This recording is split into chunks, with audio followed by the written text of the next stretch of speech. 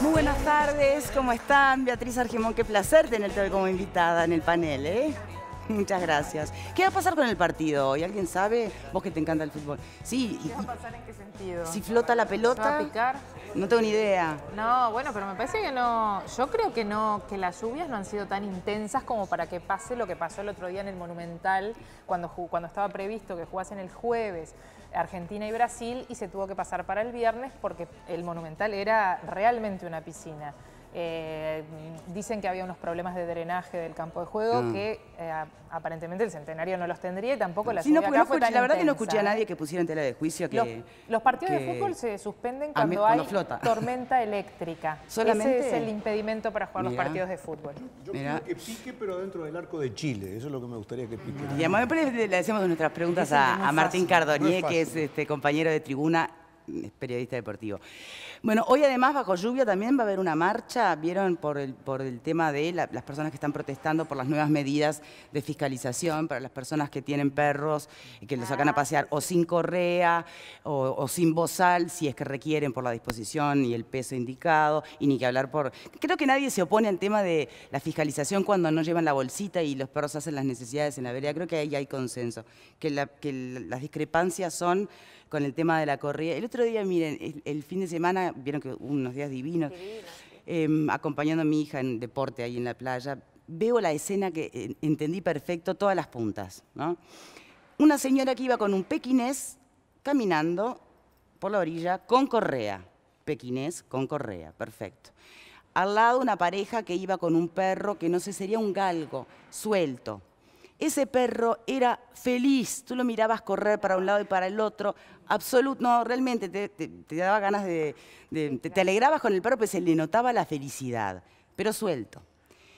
No demoró ni un instante, viste donde entras a ver la jugada de lejos, la señora con el pequinés miraba al perro suelto, ¿no? Y obviamente a los dos minutos se le acerca a los dueños y se ve que les dice, che, ¿se acuerdan que hay una nueva... Perfecto, como no tenían la correa, siguieron rumbo. La señora siguió este, contenta con el orgullo patriótico, ¿no? De, ir ella en lo correcto con la correa y con el pequinés. Y aparece uno en bicicleta con un golden, ubican los golden, con correa, pero no tuvo mejor idea que soltarlo. ¿Para qué? La señora, que no podía avanzar porque todo el tiempo tenía amenazas, o el galgo o el golden, se le viene encima el golden. ¿Para qué? No a la señora, al pequinés. Mientras el golden intentaba Em, bueno, montar al pequinés. ¿Sí, sí, es más lindo lo tuyo. Seducir, gracias, gracias. No sabía qué palabra esa, perfecto. Mucho más elegante lo tuyo. Mientras el Golden intentaba seducir al pequinés, la señora estaba hablando con el dueño del Golden diciendo, por favor, y no veía lo que estaba pasando. No veía, ¿entendés? Era una escena hot. No, era, mira, era una foto así. Todo el problema en esa escena, ¿entendés? Todas las puntas. ¿Sabes cómo terminó? La señora se calentó, agarró al pequinés en brazos y terminó su caminata con el pequinés en brazos. Y voy a decir, tampoco hay derecho, pobre señora, que termine. En fin, vamos a ver cómo se resuelven estas cosas. Señores. Pero ¿cómo se resuelven, perdóname, Victoria, cómo se resuelven acatando lo que dice la normativa? No es más, es tan sencillo como Bien, pero me pongo en el lugar del galgo feliz y digo, ¿y dónde va a correr el galgo? ¿Dónde va a correr el perro? Es como deberían resolverse todas las cosas. ¿Y el amor eh, dónde queda? Respetando lo que dice la norma. Usted se quedó en la seducción del, golden y el no, el tema es efectivamente que exista ese lugar donde el perro puede ir a estar suelto y correr, porque es una necesidad real física del, animal. ¿no? que van a existir esos espacios. Mientras tanto... Eh, aguantarse y, respetar a, la otra persona, porque estas normas yo creo que el, principal objetivo que tienen es el respeto al espacio de la otra persona. Yo no quiero estar caminando por la calle y que aparezca un perro sin correa que no sé de quién es, aunque sea el perro más divino del mundo, la verdad que no quiero pasar por ese momento y prefiero que se acate la norma y no hacerle eso a las otras personas porque para convivir en sociedad hay que... Eh, darse cuenta que uno, que hay otra persona al lado. Convivir, convivencia, señores, algo que nosotros aquí intentamos desde la cotidiana también organizarnos y pensar que hay partes del mundo, y ojo, no estamos tan lejos tampoco, ¿no? Donde hay palabras que ya quedaron totalmente obsoletas, sobre todo cuando te enfrentás a una guerra con las características de este siglo, que no son las mismas que las anteriores, como es el terrorismo. Los ataques este, perpetrados por el Estado Islámico en París siguen teniendo su repercusión, eh, condenado por el mundo entero, por supuesto, pero también se escuchan distintas voces que de alguna manera pretenden entender las raíces de este problema para saber cómo enfrentarlo. Los avances identificados a los terroristas, director.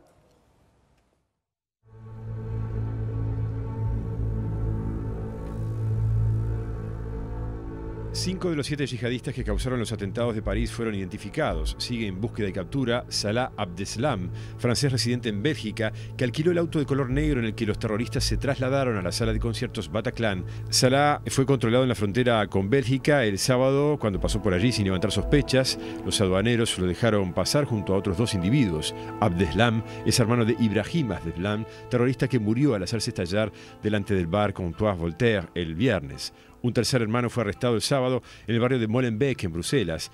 El cuarto kamikaze identificado es Sami Aminur, un francés de 28 años que participó de la matanza en la sala Bataclan. Según el fiscal de París, había sido investigado en 2012 por asociación con banda terrorista. El quinto kamikaze es uno de los yihadistas que actúa en el Estadio de Francia.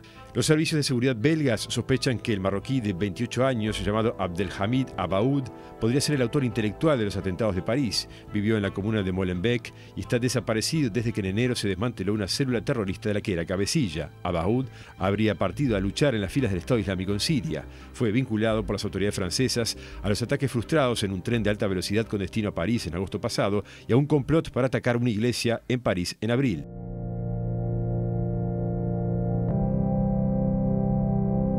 París vive estos días sumergido en una mezcla de tristeza, inseguridad y rabia por los acontecimientos del viernes. Los mismos sentimientos se pueden sentir en Barbès, al norte de París, un distrito multiétnico con gran presencia de la comunidad musulmana. Miles de musulmanes alrededor del mundo, mediante el hashtag No en mi nombre, condenaron los ataques. Piden que no se les pongan en la misma bolsa que los terroristas por compartir religión. Va a ser difícil para gente como yo encontrar un trabajo me gustaría dar un consejo a todos los musulmanes.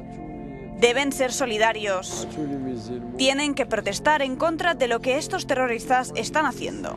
Marcados por la sombra del autodenominado Estado Islámico, grupo terrorista que clama hacer la yihad para extender el Islam radical, temen ser estigmatizados por estos actos de barbarie. Nunca me habían controlado desde que llegué a Francia en el año 2000 hasta ayer. Policías me preguntaron, ¿qué tienes en los bolsillos? ¿Qué hay en tu bolsa? Me siento humillado, porque desde hace 15 años parte de mí es francesa.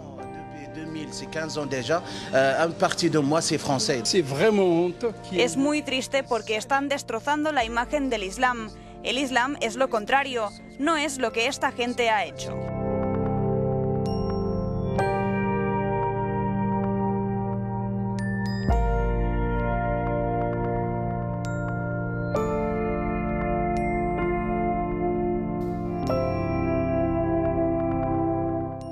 Y hoy tenemos dos invitados de lujo. Nos acompañan, por lo menos en este primer bloque, el embajador de Francia en Uruguay, Monsieur Sylvain Ité.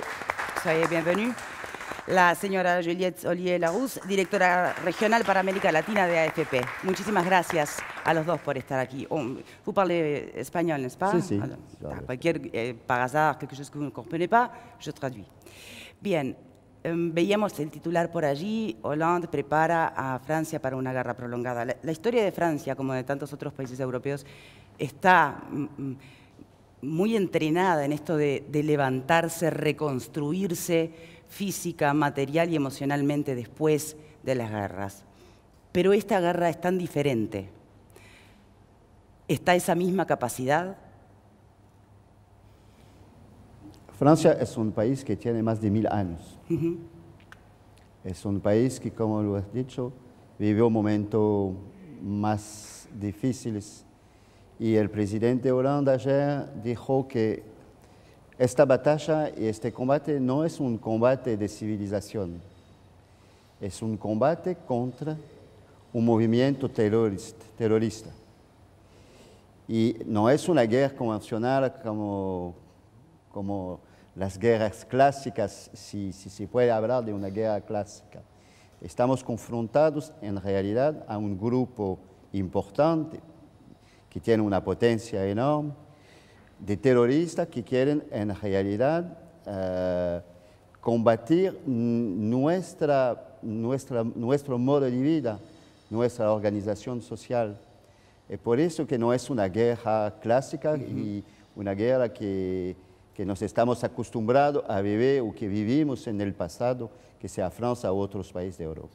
Entonces será un, es un momento complicado, es un, una, una, guerra y un conflicto totalmente diferente de, de, los otros conflictos, pero no hay otra manera que afrontarlo y que defendernos, porque nos estamos defendiendo, y no solo los franceses, pero estamos defendiendo una forma de vida, una forma de, de libertad, y, y, esto que está directamente involucrado en, esta, en este combate.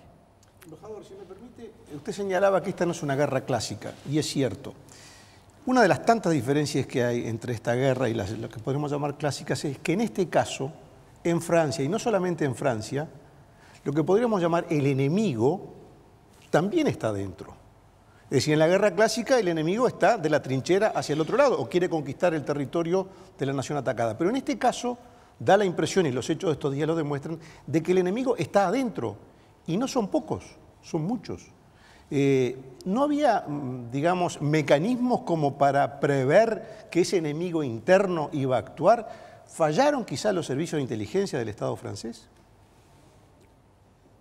Sí, naturalmente, pero es fácil de decir en nuestra, en nuestra posto, decir, eh, podía ser esto o esto. Los servicios de inteligencia franceses ya desviaron en realidad decenas de, de atentados en el, en el, pasado reciente, en el pasado entre uh -huh. el mes de enero y ahora. Naturalmente es muy, es muy difícil de combatir, uh, combatir un, un, un, enemigo que es un enemigo, enemigo que va, que va a tomar un, una, una Kalashnikov en una calle y, y uh, en, la, en, la, calle. Un, o dispuesto a morir él mismo, ¿no? Explotando sí. él con, con, con, los demás. Exacto. Yo más que nada en la dificultad política que una sociedad sí. abierta y democrática tiene para sí. controlar al enemigo que se beneficia de esas libertades de la sociedad democrática. Y, y ya responder a este punto, ya hay que saber, usted está hablando de enemigos del interior, hay que, que tener conciencia que en realidad vive en Francia más o menos 7 millones de musulmanes. Uh, Francia fue siempre un país multicultural, no es una novedad de tener musulmanes en Francia o de otra, otro, otra parte del mundo. Sobre los 7 millones de musulmanes, 99,99,9 ,99 están totalmente uh, uh, integrada a la sociedad. Se puede decir que no, que sí, pero cada país tiene una parte de su población que no está integrada. Es una realidad en el mundo entero, uh, todos los países tienen su parte de población que no está integrada. Uh, y Francia también, también tam, naturalmente, obvio, tiene una parte de su población que no está integrada.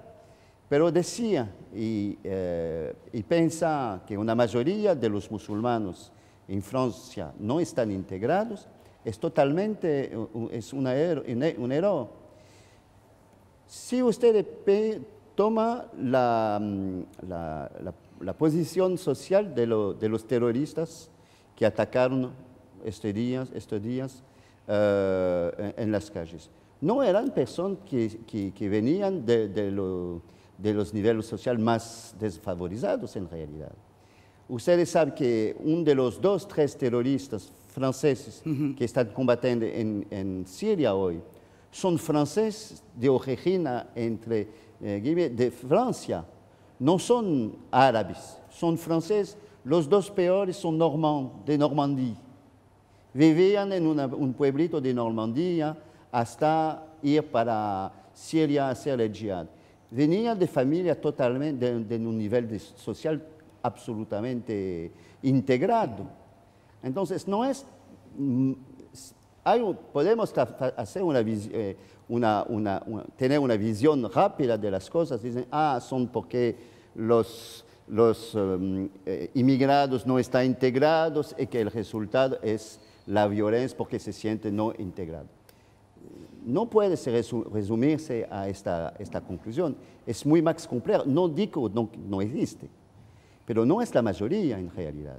Estamos confrontados a, un sistema, a una organización terrorista, que es una organización muy organizada, muy estructurada, que utiliza todos los medios de comunicación modernos y que funciona como una secta en realidad. Y la, la manera de, de, endoctrinación, no sé si se dice. Sí, sí, adoctrinar, sí. Eh, de, de, de, los terroristas y del Estado Islámico, exactamente la misma que se puede presentar con la secta Muna y otra. La diferencia es que están programados para matar y para, y para destruir. Pero los funcionamientos son los mismos. al, al, descartar, digamos, que de alguna manera la población más vulnerable para ser reclutada a, los servicios de movimientos radicales terroristas es población que pueda encontrarse en un estado de marginación, de, ¿no? de, vulnerabilidad, de, derechos oprimidos. Eh, si no es así, qué complejo es poder definir el perfil entonces del terrorismo hoy, de los terroristas. ¿Tiene alguna, alguna mirada particular?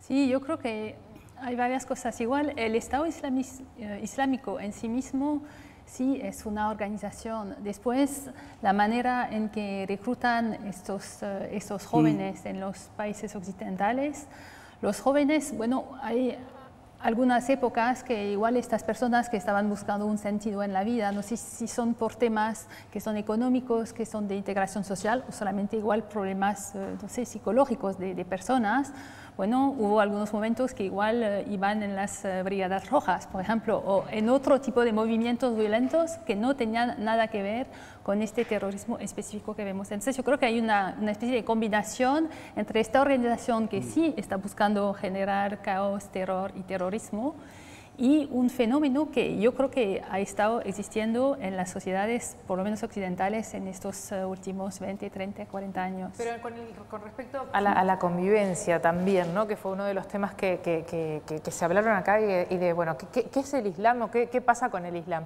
Hay 1.600 millones de personas este, que practican la religión musulmana y habrá como muchos 50.000 personas vinculadas a las organizaciones terroristas como ISIS, como Boko Haram, como eh, los este, talibanes de, que, están en Pakistán. O sea, como mucho habrá 50.000 personas vinculadas a organizaciones terroristas de 1.600.000 personas que practican el Islam. Y eso es una cosa que no hay que desconocer, porque si no también entra, entran a jugar dentro de los territorios atacados, como hoy es Francia, eh, esas guerras con el que está al lado y con lo que hablamos en el Escuchábamos ahora en el tape, por ejemplo, y eso va en total en dirección con lo que tú planteas. Escuchábamos un testimonio, un francés, eh, bueno, un musulmán francés o que nació en Francia o no, no importa, no sé, eh, musulmán, que dice toda la vida viví y hoy me siento, um, no sé si fue la palabra juzgado o discriminado, la policía me para, me pregunta qué tengo en los bolsillos.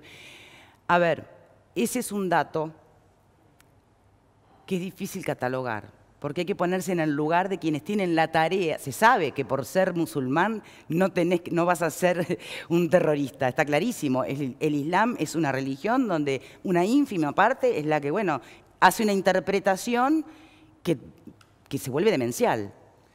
Y no necesariamente cualquier persona, cualquier musulmán tiene por qué caer en esa red. No, para nada. Ahora, ¿cómo trabaja seguridad, cómo trabaja inteligencia, cómo trabaja la policía en las calles de, países y ciudades con tanta población este, musulmana frente a estos hechos. Cómo evitar realmente hacer sentir mal a tantos musulmanes inocentes que, condenan como cualquiera de nosotros los atentados y el terrorismo. Y cómo poder hacer también el trabajo y que no se escape nadie. ¿No es delicadísimo? Lo que pasa es que justamente el hecho de que se hayan generado estos atentados demuestra que Francia tiene una actitud abierta y respetuosa de los derechos humanos con todas las minorías, porque algunos de los, de los terroristas que se supo después que fueron identificados realmente ya estaba fichado, o sea, se sabía que esa persona era potencialmente peligrosa. El hecho de que no fuera arriada y encarcelada demuestra que esta es una sociedad abierta y que los terroristas se aprovechan bueno, eso es debatible. ¿Demuestra eso o demuestra una falla en, inteligencia? no lo sé, hay que ver qué demuestra eso. Si, esa persona hubiera, sido arriada... La cédula S que es la cédula de, bueno, acá hay alguien que está siendo observado. Si, esa persona hubiera sido puesta presa, estaríamos diciendo, ah, qué injusticia con los musulmanes, los, meten presos por... ¿Me, explico? O sea, eso también es una demostración de que estamos ante una sociedad abierta utilizada por estas minorías asesinas. ¿Cuál es tu mirada, Bea? Eh, primero, eh, a mí me parece que después del 11 de septiembre, todos los servicios de inteligencia... Eh, debieron repensarse frente a un mundo globalizado, un mundo que se presenta con características de poblaciones que son ciudadanos del mundo y eh, aparecen episodios como este. Yo creo que los servicios de inteligencia están siendo interpelados y este es un hecho más. Hay muchos episodios que han podido ser detectados antes y evitados, pero hay otros que no. O sea, a mí el tema de... Eh, yo creo que la condena al terrorismo tiene que ser algo que no tenga doble discurso. la condena tiene que ser frontal y determinante. Yo pertenezco a un partido político que públicamente se pronuncia en contra del terrorismo. justificaciones, coartadas, excusas, Exactamente. Acá no hay ninguna justificación. Lo otro es cómo construimos la paz. Eleonora decía, son muchos más, somos muchos más, lo que queremos construir una cultura de paz. Entonces ahí me parece que se abre el otro gran tema de debate con los que venden armas, con el tráfico, con los que hacen adiestramientos para este tipo de personas. Entonces me parece que hay mucho material en el debate. Cuando uno se plantea sin tapujos, basta de terrorismo, todos tenemos que hablar en contra del terrorismo, que no tiene nada que ver con la religión. El tema es frente a un terrorismo muy especial, moderno, que utiliza las redes, que nos manda mensajes a través de las redes de comunicación, que antes era impensable. Bueno, hay otro mundo que también hay que plantearse, me parece, y es, bueno, ¿de dónde estas personas obtienen las armas? ¿Cómo se capacitan para enfrentar estos episodios? Estos episodios de Francia de estos últimos días fueron de una y una eh, forma de, coordinación realmente muy importante. Ah, Me permiten hacer una pregunta a partir de lo que planteaba Beatriz, perdóname. Es, em, decir que los servicios de inteligencia tienen que repensarse, ¿no? Que han sido interpelados, que tras cada ataque son interpelados. Bueno, eh, esa es una lectura posible. Nosotros no sabemos en realidad todo lo que un servicio de inteligencia puede haber prevenido. De hecho, en esta modalidad de me pongo el explosivo y me detono en una plaza pública, más que ciento y algo, podrían haber sido miles los muertos. Es decir, eh, hay que, no digo valorar eso en términos de meritorios, digo, tenerlo presente. O sea, no sé, ¿cabe replantearse la inteligencia hoy o, o Francia va segura en un buen camino en ese sentido? Los servicios de inteligencia se adaptan cada vez, cada día, a las, nuevas situaciones. Cada intentado, cada situación difícil, como nos conocemos, está analizada y los servicios de inteligencia, naturalmente, están reorganizando su, trabajo, su pensamiento, sus investigaciones. un servicio de inteligencia no puede prevenir la totalidad de, ese tipo de atentados. Y como usted dijo, mm, viernes el, balance final tendría podido ser muy, mucho más importante con el número de, muertos si la policía y los servicios de emergencia no tenían eh, eh, la respuesta rápida. De, esta manera. Pasó 20 minutos entre el momento de, la, toma de emergencia en el, en el Bataclan y la intervención de las fuerzas de seguridad y de las fuerzas de policía pero es totalmente imposible de prevenir sistemáticamente todo el tipo de... Nosotros escuchábamos a nuestro ministro de, Defensa decir que en realidad Francia hace rato sabía que esto podía... Bueno, la, amenaza ya la tenían, pública, por parte del, Estado Islámico. Ahora, ¿qué haces? ¿Qué, haces? Tenés la amenaza de que puede pasar algo. das el toque de queda, todos en casa, sin salir? ¿Qué haces? Eso me parece que pasa por otro lado. Cuando yo digo uno interpela, quiere decir, los nuevos tiempos hacen, el embajador lo decía, que frente a estos episodios tan distintos a lo que era otro hora, el planteamiento terrorista, tengan que estar realmente, mm, ¿cómo puedo decirlo? ¿Cómo puedo llamarlo? Con un nivel de, adaptación a los nuevos tiempos que no es fácil.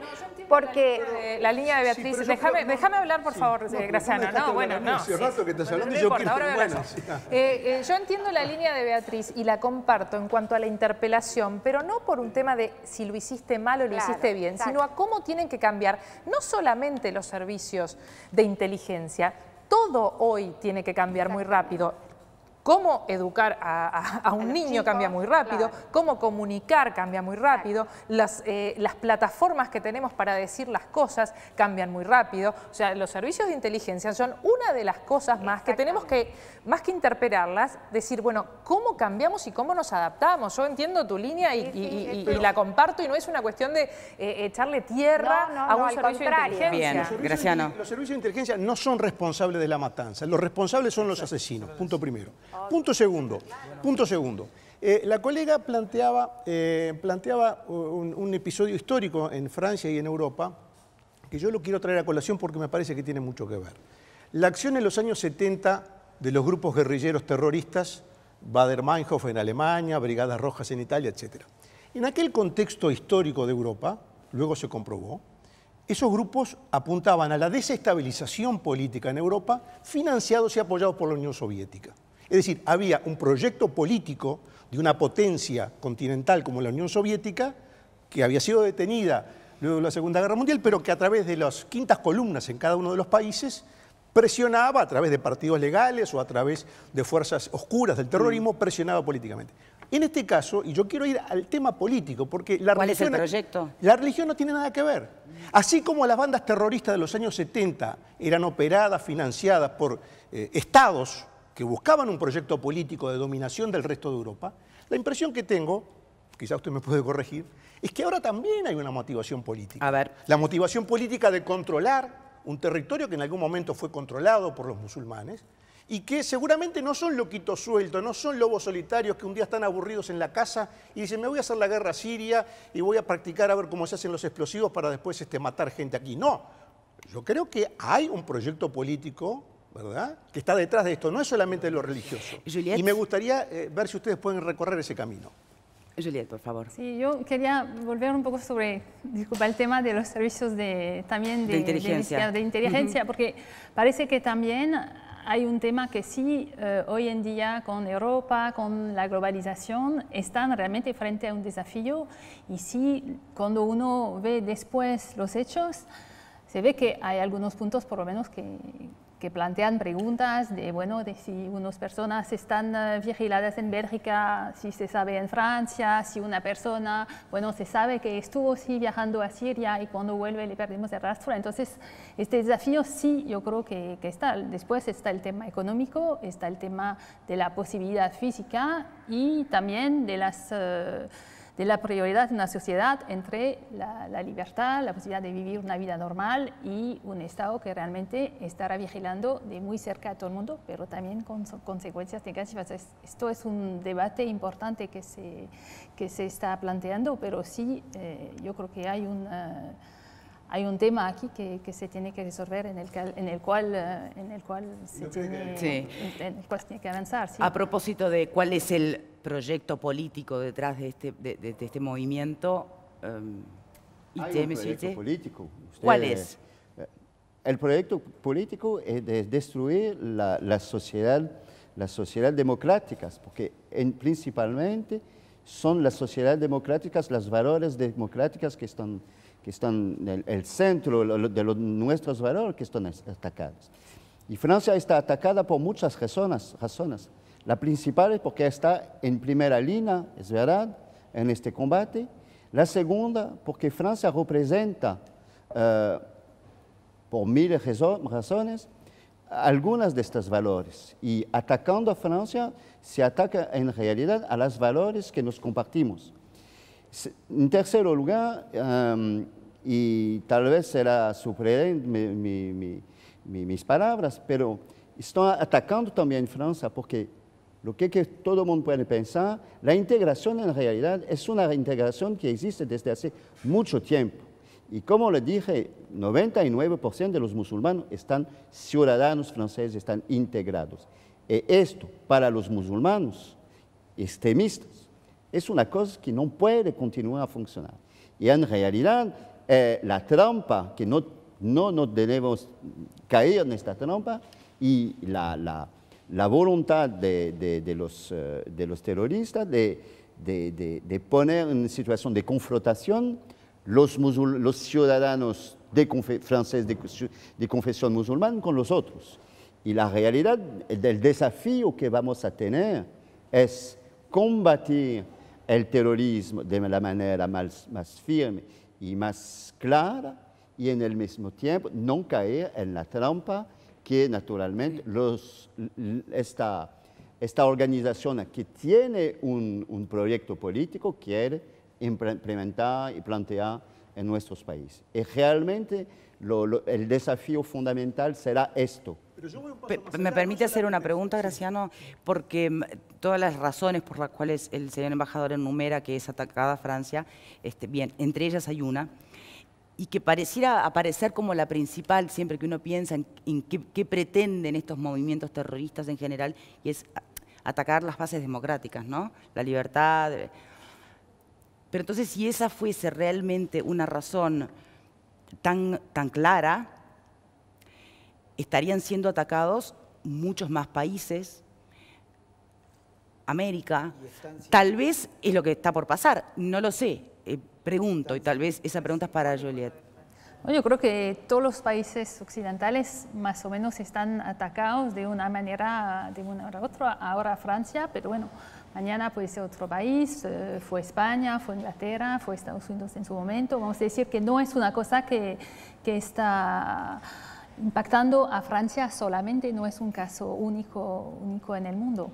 Eh, también en el tema de lo que, lo que el valor que puede haber detrás de Francia, también yo creo que es importante destacar que los ataques del viernes fueron en un, eh, un barrio especial de París que tiene realmente esta, esta particularidad de, estar de ser un barrio muy mezclado, un barrio de integración, donde salen gente de realmente todos los tipos, todos los, eh, los orígenes. Este concierto de rock es realmente también una música un poco alternativa, es una, una población muy joven, la gente que, que esto fueron las víctimas, son, son gente muy, muy joven, entonces por lo menos es un símbolo de, de, algo sí que representa a Francia y como decía el embajador, que es esta cosa sí que me imagino que los terroristas quieren, eh, bueno, quieren cortar un poco esta, esta sociedad que está funcionando de manera integrada. Y esto para mí los lugares que eligieron también tienen algún significado al respecto. ¿Qué siente como francés cuando entre los terroristas aparecen los eh, eh, franceses? ¿Cuál es la sensación, el sentimiento? Es un sentimiento de tristeza, naturalmente eh, no, puede no se puede parar de, preguntarse por qué estas personas francesas, nacidas en Francia, eh, llegan a, un acto tan abominable que, que matar personas en las calles. Y, pero en el mismo tiempo, más una vez, quiero decir que no hay que hacer un, amalgama, de, amalgama, no sé cómo se dice. Sí, mezclar, que no hay que mezclar. Una mezcla, una mezcla de todas. Son, son personas, un, número de personas, en el total son menos de 4.000 personas que están consideradas como extremistas sobre una población de 65 millones de habitantes. Entonces, no hay que hacer esta mezcla, es el, el peligro más importante. Naturalmente es una, es una tristeza enorme ver lo que, lo que, ocurrió y, todo, todos los franceses hoy tienen un, sentimiento de, de, de, tristeza en primero, pero también estaba, estaba discutiendo con amigos de Francia, etc. Y todos me dijeron la misma cosa. Eh, hay miedo, hay un sentimiento de terror, pero hay una determinación muy fuerte que no podemos aceptar de, caer en esta, en esta situación de, miedo y de conflicto interno. Porque Ayer es exactamente lo que, quieren, que nos conflictamos, que nos combatemos entre nosotros. Ayer hablábamos este, por teléfono con el embajador uruguayo en Francia justamente y nos decía, ayer lunes, París se levantó como un lunes más, con el dolor a cuestas, pero justamente dándole la batalla a ese miedo que podría a cualquier otra persona, a cualquier otra sociedad, paralizarla, ¿no? Eh, sí, Eleonora. Eh, Álvaro te había pedido la palabra. ah, perdón, perdón, perdón. Eh, muy, bien breve, gracias, Eleonora. tengo la sensación que hay una batalla muy importante también en el plano cultural. Creo que el multiculturalismo tan positivo que ofrece Francia ha permitido también eh, declaraciones como la del imán, el máximo líder religioso musulmán hoy en París, justificando prácticamente los atentados. O sea, ¿qué está pasando con las escuelas musulmanas donde se dice que en la misma Francia se le está enseñando a los niños eh, doctrinas de odio y la yihad. Cuidado que se han pronunciado eh, muchísimos musulmanes. Bien, está bien, está bien al lugar la pregunta, pero, ojo que eso no resume. En, realidad, este, la mayoría del mundo musulmán se paró en contra de esto, ¿no? no pongo ninguna duda en musulmanes que ninguno de nosotros... Hoy, ayer leí un artículo que decía, ¿cuánto conocemos del Islam? Conocemos muy poco. ¿Conocemos el nombre de algún teólogo a nivel mundial de, eh, este, eh, sobre el Islam que sea como súper nombrado? No, tenemos que ir a buscar para conocerlo. Y justamente en ese artículo se hablaba de esto que, dice Álvaro. No, la comunidad mundial de, de musulmanes ha condenado esto. Lo ha condenado enérgicamente, salvo esta expresión que vos decís, de mm. un imán. Pero quería decir una cosa que tenía que ver, que, y es lo que yo creo que es el desafío principal que tiene Francia de aquí a por lo menos este, los próximos tiempos, independientemente del servicio de inteligencia, seguridad y cómo combatir la parte de defensa. El desafío que tiene Francia es la convivencia. Nuevamente volvemos a hablar en el programa que tenía cuando hablamos de otra cosa y ahora hablamos de esto y aparece la palabra convivencia. En Francia van a seguir viviendo miles de musulmanes y van a seguir conviviendo con gente que a lo mejor le quisieron meter miedo. Y esa gente tiene que sacarse el miedo porque va a tener que vivir al lado de uno que es un igual y va a tener que aprender a vivir así, sin miedo. Y me parece que ese es el desafío que tiene la sociedad francesa. Pero cuando el enemigo está adentro no es fácil eso, ¿no? Cuando el enemigo está adentro, puede estar en la casa de al lado, no es fácil. Por eso es un desafío, porque no es fácil. Eh, sí, el enemigo está adentro, pero el enemigo está afuera también. Y sabemos exactamente dónde está el enemigo. Y hay que combatir también el enemigo que está afuera y destruirlo. No hay otro término. Entonces hay una decisión, que hay que tener una decisión y una toma de conciencia de la comunidad internacional global. Y el presidente Hollande pidió más una vez una reunión del Consejo de Seguridad esta semana para ver en la comunidad internacional en general, en, en, los 28 países de la Unión Europea en particular, cómo combatir esta, esta situación, porque sabemos exactamente dónde y, y cómo eh, lo, el Estado Islámico está, está funcionando y está actuando ahora. Entonces, el enemigo interno en realidad es siempre y únicamente la consecuencia de una organización terrorista que actúa desde el exterior. Bien, y, pensando en la interna de Francia y en esos ciudadanos que ya tienen, ¿no? que están fichados, que se les tienen justamente esa cédula marcada por algún vínculo con alguna, pero que no se les puede em, achacar nada en el momento. Bueno, ¿a partir de hoy eso cambia? Como usted lo dijo, eh, ¿por qué eh, hemos llegado en esta situación? Porque Francia es un país abierto y respetuoso de las reglas de, las reglas de, los derechos humanos. Las 4.000, los 4.000 personas que están uh, registrados por los servicios de inteligencia... ¿Qué va a pasar ahora? No están todos en, en, en, un campo de, de, de recensión porque es una democracia y que no se ponga una persona uh, en, prisión solo porque pensamos que tal vez vaya a ser un acto de terrorismo. Entonces, ahora, con la, mm, con la situación y, el estado de emergencia y los proyectos de, de, decreto y de ley que el presidente Hollande propuso al Parlamento ayer, Vamos a intentar de organizar nuestra defensa y poder actuar de manera más eficiente contra, contra las personas que están, que están de manera, como decir, eh, potencialmente terrorista, pero tenemos que respetar las reglas y naturalmente la democracia y las reglas de, las reglas de los derechos humanos. Y, ese, y esto que es el desafío, desafío, como un Estado Francia, pero la realidad es una cuestión que se, que, está, que se, puede, que se puede poner a todo el mundo. como una sociedad democrática, que, que sea francesa, eh, eh, alemán, uruguaya o americana, sin deshonrar su, esencia. Para mantener el Estado de Derecho y mm. también combatir de la manera más firme posible las personas que quieren destruir nuestro modelo de, vida. Me parece que el embajador dijo algo que es la clave en todo esto, ¿no? La mirada del mundo que ha construido ese paraguas de los derechos humanos para construir esa cultura del respeto, de, poder vivir todos juntos y quienes a través de esa mirada terrorista no lo comparten.